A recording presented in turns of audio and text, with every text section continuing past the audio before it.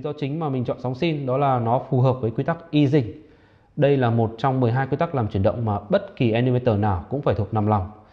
Các quy tắc này rất hữu ích và được trích ra từ quyển sách nổi tiếng là The Illusion of Life, đến từ một studio hoạt hình cũng nổi tiếng nốt đó là Disney.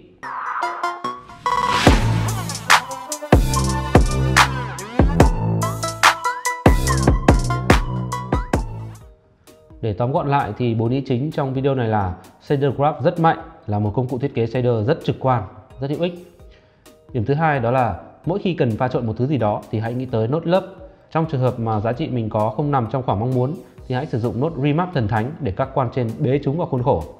Điểm thứ ba là hãy cố gắng làm cho shader graph phù hợp với nhiều tình huống hơn là chỉ một vật thể duy nhất, khổ trước thì sướng sau. Và cuối cùng thì hãy sắp xếp shader graph gọn gàng ngăn nắp như một gói quà bởi vì nó sẽ là món quà bạn gửi tặng chính mình trong tương lai hoặc cũng có thể là các anh em game dev khác.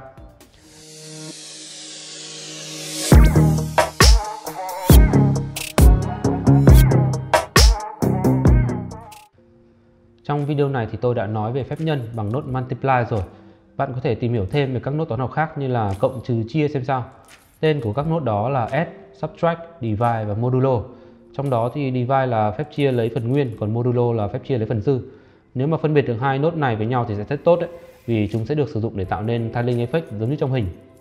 Bật mí một chút là ở video sau thì mình sẽ dùng đến nốt F nên là hãy tìm hiểu nhé. Remap là một nốt rất mạnh và linh hoạt, sẽ được dùng rất nhiều.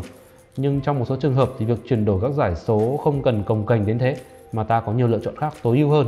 Ví dụ như là các nốt clamp, saturate, minimum hay maximum. Bạn tự đọc tài liệu về chúng và thử nghiệm trực tiếp trong shader graph luôn nhé. Đồ thị hình sin đúng là rất hay gặp trong shader, nhưng nó không phải là đồ thị biến thiên duy nhất mà shader graph có. Ngoài nó ra thì còn có đồ thị răng cưa sawtooth hay là đồ thị tam giác triangle nữa. Nếu tôi muốn tạo ra chuyển động quay 360 độ lặp lại vô tận thì tôi sẽ dùng đồ thị răng cưa thay vì sóng sin.